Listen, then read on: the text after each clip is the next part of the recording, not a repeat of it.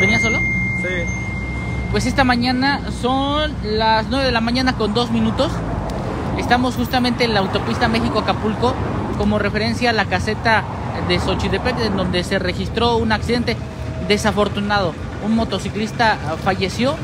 Eh, ya se encuentra la Guardia Nacional, así como personal de Caminos y Puentes Federales, quienes eh, pues al llegar confirmaron el deceso de esta persona.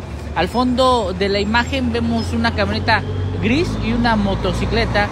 Eh, posteriormente pues ya también se dio parte a lo que es la Fiscalía General del Estado para que lleven a cabo las investigaciones correspondientes en torno a este desafortunado accidente que se registró justamente pues en la autopista kilómetro 107 más 700 eh, a la altura de la caseta de Xochitepec. Las llamadas telefónicas alertaron sobre este accidente en las redes sociales, comenzaron a subir las imágenes, las fotografías en donde pues alertaban de este desafortunado caso. Hay una persona sin signos de vida, eh, al fondo está esa camioneta gris y al lado, eh, enfrente, una motocicleta. Ya serán las autoridades quienes determinen qué fue lo que sucedió. El tráfico, cómo se encuentra en estos momentos. Así, se puede transitar.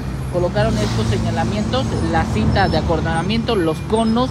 Únicamente son unos 400 o 600 metros que fue acordonado. Asimismo, pues mantenga la calma, precaución.